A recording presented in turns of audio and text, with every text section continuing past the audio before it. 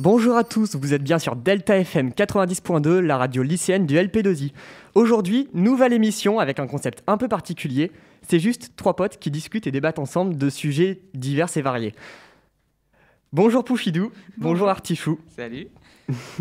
Comment allez-vous? Ça va et toi? Très bien, merci. Alors, aujourd'hui, on a un programme euh, un peu, euh, on va dire, euh, sur lequel on va débattre. Ce sera qu'est-ce qui peut être considéré comme une œuvre artistique. On va commencer par la définition de l'art, puis on aura une petite pause musicale, et on va terminer sur un petit débat sur ce sujet. Ça vous va? Parfait. Parfait. Ok, nickel, c'est parti. Bon alors déjà, l'art. Pour vous, c'est quoi? C'est une très bonne question, en effet. Alors, pour moi, je pense que l'art, c'est tout simplement un moyen de véhiculer des émotions à travers justement une certaine technique. Je ne sais pas si vous voyez ce que je veux dire. Par exemple, si, si je prends un exemple, un tableau, grâce à la technique du peintre, il va peindre certains éléments pour faire véhiculer une certaine émotion chez le spectateur.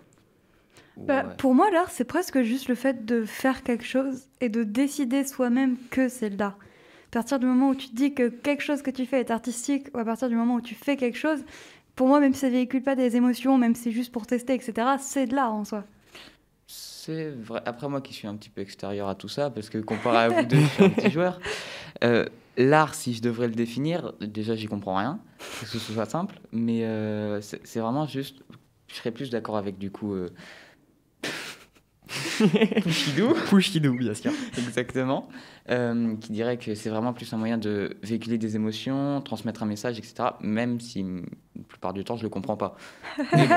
C'est très franc, c'est très Mais franc. juste, Babouillou, ça, ça veut dire que pour toi, genre, je vais amener une, un lampadaire, je vais dire, ouais, c'est mon œuvre artistique, et tu vas dire que c'est de l'art. Voilà. Mais après Genre- c'est un petit peu trop simpliste. Bah, et alors?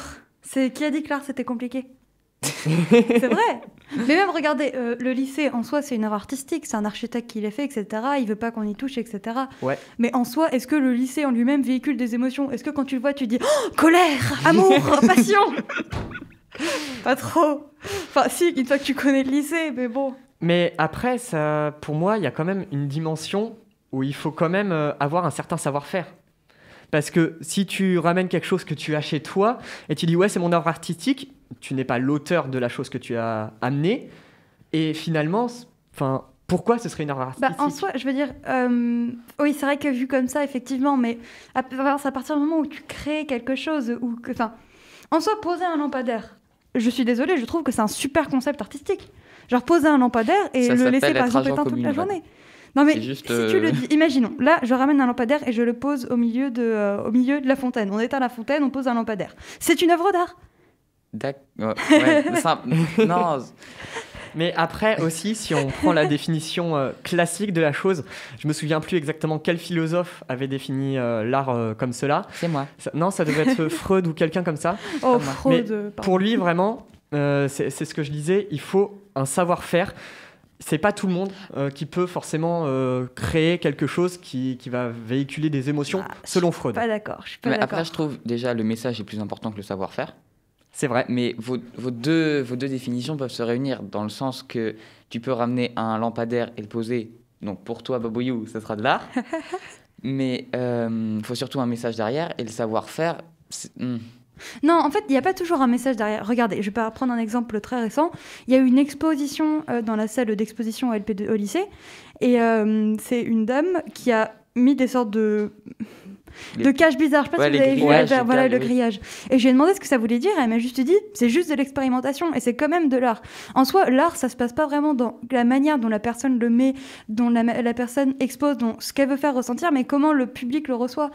Si jamais t'arrives et que tu dis bah ça c'est pas de l'art, c'est juste du grillage, c'est pas de l'art, mais si tu te considères que c'est de l'art ou que toi-même ça t'apporte des émotions ou juste que tu le regardes et que tu te dis c'est de l'art, en fait ça dépend vraiment de comment la personne réagit. Enfin ça dépend de la personne qui le crée. Si jamais par exemple euh, cette Donc, salle c'est pas de l'art, c'est pas de l'art. Oui, la personne qui installe etc. En soi cette salle on peut considérer que c'est pas de l'art, mais peut mais euh, ça dépend de la personne qui crée. S'il veut décider de faire, s'il veut décider que c'est de l'art ou non, et ça dépend surtout de la personne qui regarde, du, du- de, la, de la personne qui reçoit. Ouais, Là, tu vois, je suis plutôt d'accord. C'est-à-dire que pour, une œuvre, pour qu'une œuvre soit considérée comme artistique, il faut forcément qu'il y ait un auteur et un spectateur. Oui. On, est, on part sur là-dessus? Bah oui, déjà C'est oui. vrai. Super, on a notre définition. On va pouvoir sur- partir sur la pause musicale. Vous allez écouter La complainte de la serveuse automate, une chanson composée par Michel Berger pour la, mu- pour la comédie musicale Starmania en 1979. C'était La complainte de la serveuse automate composée par Michel Berger. Bon, Ça vous a plu? C'était très bien. Ouais, franchement. je Ok, on va continuer notre débat sur l'art maintenant en discutant à propos de certaines œuvres, à propos de notre avis sur justement comment une œuvre artistique peut être reçue par le public, comment elle peut être créée par l'auteur et justement est-ce qu'il y a forcément des intentions derrière? Alors déjà pour commencer, moi j'ai un truc à dire à toi, Baboyou. Eh, Vas-y. Par rapport au lampadaire que tu poses au milieu de la fontaine. Alors, tu connais sûrement l'œuvre La Fontaine, Non, qui est pas. simplement un urinoir et qui est appelé La Fontaine. Pour toi, c'est de l'art. Bah si, si oui, en soi, si. En soi, il a pris un urinoir, il a dit c'est une, ça s'appellera La Fontaine. D'accord, bah oui, sûrement alors. Tu Enfin, trouves après, pas- je sais pas, je l'ai jamais vu, donc... euh, Ah, c'est dommage. Mais je pensais que tu la connaissais, tu vois. Mais tu trouves pas l'idée un peu trop simpliste? Enfin, faut quand même. Je trouve que pour l'art, faut quand même qu'il y ait quelque chose d'un petit peu travaillé, recherché, quoi. Parce que hum, prendre un, un urinoir et dire c'est une fontaine, je vais prendre un chat, je vais dire c'est un animal. c'est de l'art.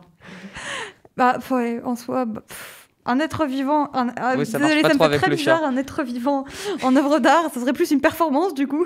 Le En chat est une Non, ça marche pas avec l'être vivant, Mais euh, en soi, c'est vrai. Mais je sais pas comment expliquer. En fait, c'est très subjectif, objectivement. Enfin, on peut pas vraiment donner de définition très Non, mais précise. il a raison. On peut pas donner de définition exactement précise. On peut pas dire ça, je considère ça comme de l'art, ça, je considère pas ça comme de l'art. Ma sœur, il y a des trucs. Alors, Il y a des peintres, par exemple, elle dit mais ça c'est pas de l'art, c'est juste des gribouillis.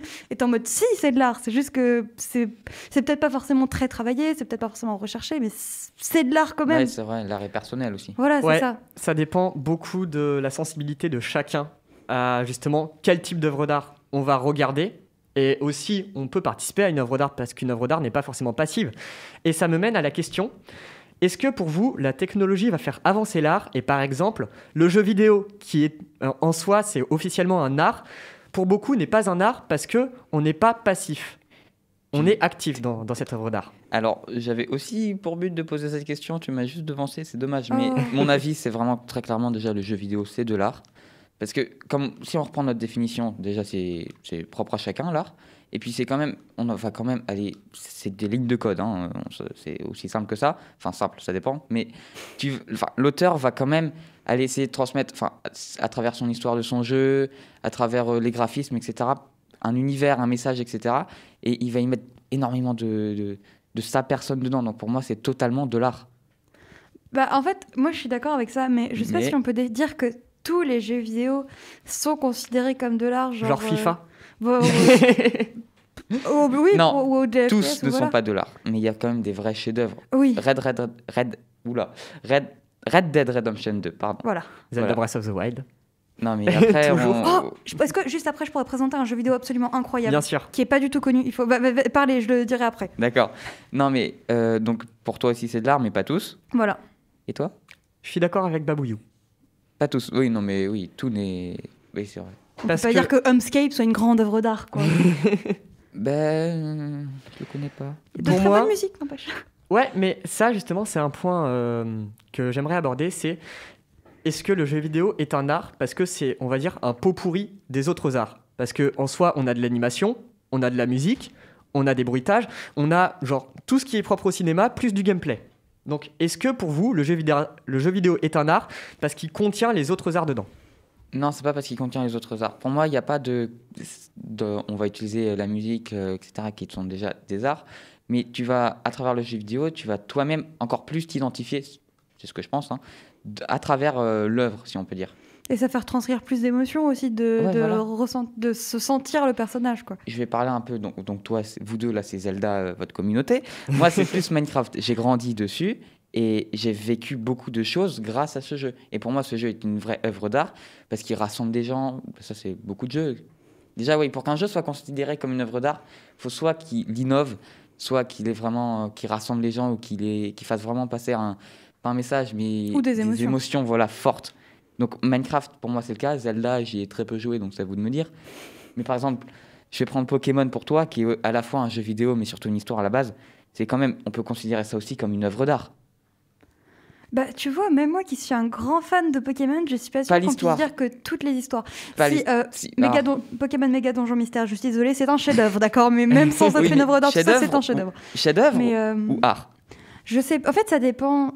Un chef-d'œuvre en soi, c'est fait le summum. oui. C'est le summum, c'est l'œuvre artistique qui dépasse toutes les autres d'un auteur. Mais fait, on c'est que- l'utilise un peu trop facilement. En fait, c'est que pour moi, art, c'est vraiment un truc qui retranscrit des émotions, alors que Pokémon, c'est juste un univers de bien-être. Tu voyez ce Bah, que je veux dire tu vois, Tu viens de te Man- contredire. Oui. Mais bon, je sais pas comment dire. J'ai l'impression que l'art, c'est pas censé. C'est quelque chose qui te parle. V- Ouais, en fait, c'est, je sais pas comment expliquer. L'art, c'est sans... enfin, dans mon esprit, euh, je, je dis pas que c'est pas de l'art, etc., mais juste que dans mon esprit, j'associe plus facilement de l'art à quelque chose qui va me faire passer des émotions, mais pas forcément toujours positives, vous voyez, Ouais. ou qui va me faire réfléchir, etc.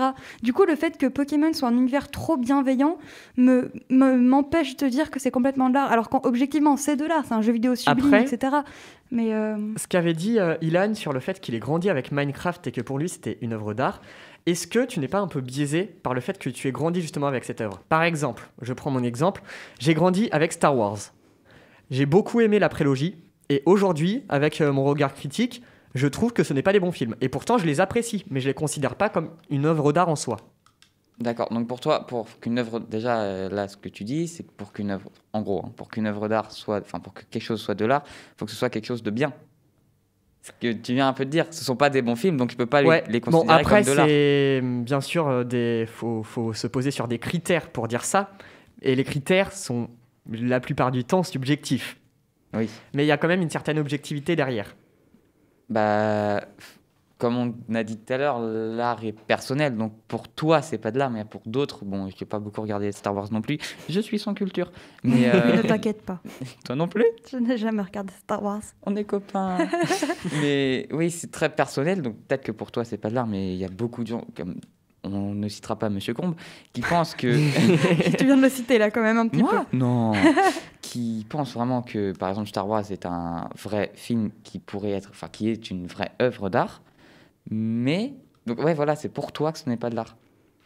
C'est pour ça que c'est très compliqué aussi de, de définir l'art, car il est propre à chacun, en fait. C'est ça. Est-ce que je peux en profiter pour caler le jeu vidéo euh, dont je voulais vous parler? Vas-y, Ouais, ok. après, je vais rebondir justement Bien sur. sûr, euh, je suis désolée, c'est que ça. j'ai peur de pas pouvoir le caler. Si vous pouvez essayer de jouer à The Last Campfire, c'est un jeu vidéo d'un studio indépendant. Je le connais. Il coûte euh, quasiment rien. Je Il crois est que c'est gratuit 20 euros. Non, il n'est pas gratuit. Enfin, sur, euh, sur- gratuit. Bah moi je l'ai sur Switch, donc peut-être que c'est payant sur Switch, mais... euh, Enfin bref, et c'est vraiment un véritable chef-d'œuvre. J'ai trouvé les musiques incroyables. Écoutez-les au casque, les musiques. Et ça te plonge tellement dans un univers... Moi je trouve ça très mélancolique et très triste, mais euh, il est vraiment super beau. Donc si vous pouvez y jouer, ça allie euh, puzzle, réflexion, etc. dans un univers adorable, etc. Donc euh, vraiment, c'est un super jeu, je vous le conseille. Est-ce que pour toi, il peut être considéré comme une œuvre d'art, du coup? Pour moi, c'est un des jeux vidéo les plus artistiques que j'ai vu. Ah. Pour moi. Merci beaucoup pour la recommandation. J'y jouerai avec grand plaisir. Je rebondis euh, justement sur ce que vous avez dit. Vous avez dit que, enfin, je, je récapitule. Pour vous, un jeu vidéo peut être considéré comme une œuvre d'art parce que on est actif, donc on reçoit beaucoup plus facilement les émotions que veut transmettre l'auteur. Donc, en soi, la dimension artistique d'un jeu vidéo provient du gameplay. Bah oui, totalement. Sinon, Mais- ce serait, si- sinon, ce serait, comme tu as dit, un, un rassemblement de plusieurs arts, c'est tout. Mais pourquoi il y a un certain travail de la musique, des graphismes et de tout ça dans le jeu vidéo alors qu'il pourrait véhiculer des émotions seulement à travers son gameplay Bah en Pour soi, les renforcer. Bah en soi, oui, c'est ça. C'est juste que, en fait, l'histoire et le gameplay sont marqués par tout ce qui est autour, par le jeu, par les graphismes, etc. On peut pas dissocier tout ça. L'histoire, c'est euh, c'est le fil conducteur, mais l'histoire n'a aucun sens si on met pas les musiques en accord. Si, par exemple, on fait une scène hyper triste, mais que derrière on met des musiques hyper joyeuses, etc. Ça n'aura aucun sens. Mimiki?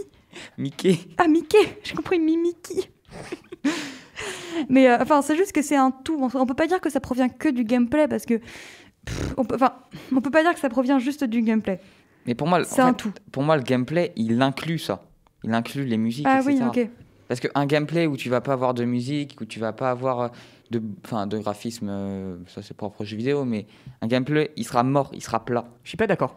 Ah. Parce que, bon, je vais prendre l'exemple de The Legend of Zelda Breath of the Wild. J'y ai énormément joué. Je Trop. peux pas dire qu'il n'y a pas de graphisme dans Et- Zelda. Je vais, je vais- je vais exclure les graphismes, mais les musiques qui sont incroyables dans ce jeu, quand on joue dans la plaine et qu'on passe des centaines d'heures à explorer, on a juste parfois, genre, quelques fois par minute, une petite note de piano qui, qui vient justement euh, étoffer l'univers. Mais sinon, on a rien, que le bruitage du jeu vidéo. Mais ça, Et va pourtant, avec, ça va avec Son histoire, son histoire, elle est racontée à travers le gameplay. Mais ça, ça va avec l'ambiance. Si tu es dans une plaine, tu vas pas mettre une musique de bataille épique, ce qui me paraît Bah, logique. dans, les, dans la plupart des autres Zelda, Dans la- et ça marche très bien aussi. c'est- ouais. C'est pas faux. Mais après, c'est que c'est. euh, Enfin, tu vois, la musique est pas complètement absente. Après, là, ça marcherait limite de pas mettre de musique parce que c'est un jeu qui se passe uniquement dans la nature. On pourrait se contenter seulement puis- du bruitage de- du monde. Voilà, c'est ça. Mais Il y a voilà, le bruitage. Sans le bruitage, tu, tu dirais, ah, c'est trop plat. Parce que tu as les bruitages des, des, des- des- quand tu marches, quand tu sautes, les petits bruits qui fait. Couper le son de Zelda, ça coupe beaucoup, ça a beaucoup moins d'intérêt. Ouais, surtout que les bruitages sont incroyables. Ah Si- ouais. si, jamais vous y avez jamais joué, c'est un énorme sacrilège, je vous le dis. Il est incroyable ce jeu. Oh, Jouez-y. J'y- ai joué, hein. euh, trop et, Et- tout. Pour euh, continuer sur euh, cette discussion sur la technologie et l'art, comment vous pensez que ça va évoluer? Alors, euh, déjà, je fais juste un point de ce qui est fait actuellement. L'art est resté pendant longtemps quelque chose de non technologique, resté un petit peu euh, intouché. On est venu beaucoup plus tard à apporter des nouveautés, comme par exemple le- l'utilisation de la réalité virtuelle pour faire euh, des expositions, pour euh, voir une, œuvre, une sculpture en 3D, etc. Mais comment ça va évoluer? Pour moi, c'est qu'on va se pencher de plus en plus de ce qui va être possible, surtout sur les expositions en réalité virtuelle, parce qu'on l'a vu déjà à cause du Covid, il y en a beaucoup qui ont été faites. Et hum, moi, ça va vraiment beaucoup plus. Va y avoir. Enfin, ça va se séparer en deux parties. L'art qui sera plus euh, classique, donc on reste dans les codes actuels, et l'art un peu plus technologique qui va être. euh, qui va être euh, animé, justement aidé par euh, les nouvelles technologies, la- la- l'assistance par ordinateur, etc. Comme on l'a déjà connu avec d'autres choses qui pensent, enfin d'autres thèmes, j'ai pas d'idée qui me vient, mais on a beaucoup connu, euh, ouais, tu utilises un ordinateur, tu peux pas considérer ça comme euh, de. Enfin, Juste je rapidement, sais pas comment dire. tu viens de dire que l'art était euh, pendant longtemps non technologique. Oui. Je suis pas d'accord sur ça. Parce que pour moi, l'art évolue en même temps que la, la Alors, technologie. moi, quand je parle de technologie, je parlerai ici là de tout ce qui est nouvelle technologie. Parce Ok. que Euh, Mais- à chaque En- fois qu'il y a une par rapport à évolution, son c'est temps- une nouvelle technologie. Par rapport à son temps, par exemple, euh, je, vais, je vais commencer euh, il y a très longtemps avec la musique. La musique, petit à petit, plus on a inventé d'instruments, plus elle s'est étoffée. Le théâtre, plus on a inventé de mécanismes qui permettaient de raconter des histoires, plus il s'est étoffé. La photographie, elle est apparue grâce à certains aspects chimiques qui ont été découverts, le cinéma aussi, le jeu vidéo avec le codage. Donc petit à petit, la- l'art évolue en fonction de la technologie. Excusez-moi, il me semble que vous oubliez un- un- une part importante de l'art euh, dans la technologie. C'est pas seulement coder sur un ordinateur, c'est pas seulement utiliser Ouais. un écran, c'est aussi simplement une machine qui crée quelque chose. Je sais pas si Un humain qui crée mais- quelque chose sur une machine aussi. Oui, mais il y a aussi des machines simplement qui, par exemple, euh, par un programme en gros al- aléatoire, avec des mouvements aléatoires, se retrouvent à faire un dessin, etc. Je veux dire, il n'y a pas seulement la technologie qui passe à travers un écran, qui passe à travers des lignes de code, etc. Il y a aussi simplement le mouvement de quelque chose de mécanique. Alors je rebondis sur ça. Premièrement, c'est un humain qui a créé la machine. Donc forcément, Ça ce sera l'humain derrière, humain. derrière euh, Oui, l'œuvre. Mais est-ce que pour toi, une œuvre créée par une machine peut être considérée comme artistique? Et pourquoi? Bah, en fait, en soi, c'est pas forcément le fait, c'est pas forcément l'œuvre qui a été créée par la machine, c'est le fait de faire faire l'œuvre par une machine. Ça, enfin, comme tu dis, il y a toujours l'humain derrière, donc Bah oui, en soi, Pour c'est moi, pas vrai. l'auteur, ce sera jamais la machine. Ce Oui, sera toujours l'humain qui a créé la machine. Bah, en soi, ce sera, ce sera, c'est pas vraiment. on peut- Je sais pas si on peut. Enfin, en soi, si on peut considérer ça comme de l'art, mais euh, je pense que c'est surtout l'action de faire faire ça par une machine qui est, consi- qui est de l'art. Vous voyez? C'est Oui, presque plus une performance qu'une peinture. Et donc ça, ça- ça peut amener justement à l'évolution de l'art, c'est-à-dire dans plusieurs années, on va pouvoir commencer à avoir des œuvres d'art créées par des machines, mais des machines bien sûr euh, créées par des humains, Mais tu mettrais qui en auteur? La machine ou l'humain qui a créé la machine? Ouais, Voilà, toujours l'humain. toujours l'humain. Parce que pour moi, une œuvre d'art doit avoir quelque chose d'organique. Ah, d'accord, c'est autre chose. On va, on va pas débattre là-dessus encore longtemps parce que je regarde l'heure et on a court après. Mais juste, j'aimerais faire, euh, j'aimerais euh, faire euh, une petite bifurcation vers l'art contemporain. Oula, vous me perdez, c'est bon. L'art contemporain, Vous pouvez Pour me faire vous un petit rappel déjà? Alors l'art contemporain, c'est un art. euh, comment expliquer? C'est l'art moderne. en Voilà. quelque Ok. sorte. C'est, ça va être par exemple. euh, Ça peut regrouper des, fer- des performances. C'est, on va dire, la- les choses que tu comprends pas. Non, on, on peut comprendre. C'est juste que c'est un, un nouvel art. C'est pas l'art euh, traditionnel, tu vois. Ça Ouais. pas faire une peinture ou euh, voilà, tu vois. Est-ce que, euh, bah, Bouyou, je vais me poser euh, surtout euh, une question vers toi parce que Ilan n'a pas l'air de, de s'y connaître vraiment. Mais si. Est-ce que selon toi, l'art contemporain, il y a beaucoup d'imposteurs, c'est-à-dire des gens qui vont faire n'importe quoi et qui vont proclamer que c'est de l'art. Non, je pense pas. Parce que si ils disent que c'est de l'art, c'est qu'il y a une dimension artistique, tu vois, toujours, encore une fois. Mais euh, c'est qu'en fait, c'est assez difficile à, transcrire. En fait, ça dépend ce que tu appelles n'importe quoi. Si une personne, par exemple, a le téléphone en bout de table, si quelqu'un le débranche et euh, pose euh, le téléphone ici et qu'il dit c'est de l'art, ça pourrait, dans une certaine forme, si jamais tu arrives à, le- à le percevoir comme de l'art. Après, il y, en- il y en a, par exemple, je vais prendre l'exemple de mon grand-père. On allait faire une. euh, je vois vous marrer.